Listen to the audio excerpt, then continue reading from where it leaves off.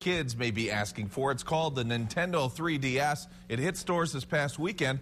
It's a handheld gaming system that provides 3D gaming without the glasses. In fact, Jimmy Fallon recently gave it a shot on his show with some help uh, from the president of Nintendo of America. Yeah, but do kids actually like it? Here with their impressions, along with some other tech toys for kids, we have the hosts of the Kid Friday Tech Podcast, Hannah and Zoe Swerdlick. Hi, girls. Hi. How are you? Good. Pretty pumped to have you here, ladies. Thanks so much for being here. I mean, they are a big shot. They're the, the number eight kids in family iTunes going uh, iTunes podcast going on right now. Hannah, how did you want to? How did you start doing this podcast? Well, we were doing a Webkinz webcast before, and there's these little stuffed animals, and you go online with them.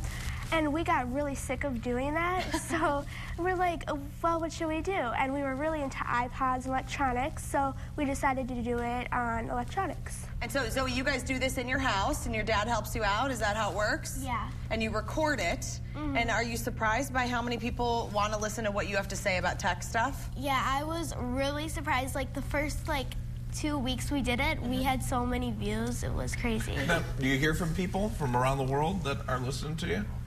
Yes, we do. We're from Japan and Germany. We get emails every week from people all around the world. Is it is it kid, just kids, or do you have a lot of adults listening too? Um, it's mostly kids. Some of their parents write in and say, this is so cool. That it is pretty cool. It's yeah. really cool. That's All awesome. right, we talked about the Nintendo 3DS. We gave you a chance to check it out. We've got it right here, and we gave you a chance to check it out before the show. So, Hannah, you have it? Yes. Yeah. So, what do you think?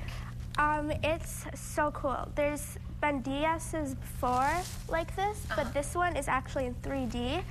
And so you can play games in 3D, take pictures in 3D, and it's, it's amazing. That thing takes pictures. Yep. There's two Whoa. cameras. And you can take pictures of yourself, and then you can take pictures of your friends. Oh my gosh. so it's 3D, so so if you're if you're doing an action type of game or something like that, does it feel like you're dodging out of the way of stuff? or- Yes, we actually you can take pictures and have yourself in the games. But Zoe, what about cool if is that? does I always wonder about the 3D stuff, maybe because I'm very very old and I wonder if your eyes will hurt when you're looking at this through like I'm afraid to go to a 3D movie. Do you think that it does is is it hard on your eyes? Um, well, after about um 10 minutes, it gets a little dizzy. Yeah. But it's still really cool. Okay. All right, that's nice I mean, for don't let dizziness get in the way of a good time. They got virtual reality games in uh, in this this thing as well. It goes for two forty nine ninety nine. Now we also want to talk about some of your favorite products, and I understand the Apple iPad is uh, a very popular one, especially with you guys. yes. So why do you why are you loving the iPad? Because everybody knows the iPad gets rave reviews, but we're looking at it from a kid's perspective. Yeah. Like, why would a kid want the iPad? The iPad can do everything. It you can look at YouTube videos, you can play games, you can surf the internet, you can do whatever you want. It really helps out with homework, I would think, huh? Yeah, you can type reports on it. I've done that before. Really? Yeah. Do you ever use it to like do drawings or anything like that? Yeah, too? you, you can do drawings. Wow. So Zoe, I heard that you guys like a few. There's some apps in particular for kids that you like on the iPad. The Angry Birds one. What is this one? Um, so you have these like birds and they're like they try to you try to like kill these pigs. Yeah. And it's just fun. Okay, I have to tell you that my 30-year-old friend Matt, a huge fan of this game. I know a lot of 30, 40, 50 year old people that, that love this game. Here's why I don't play this game myself because I understand it's completely addicting, and if I tried it once, I'd play it a million times. Is this true, ladies? Yes, it's definitely addicting. Addicting. Okay, what about Flipboard, Hannah? Flipboard, so you can go on, you can add your Facebook and Twitter accounts, and um, you can look at the newspaper, you can look at what your friends are posting,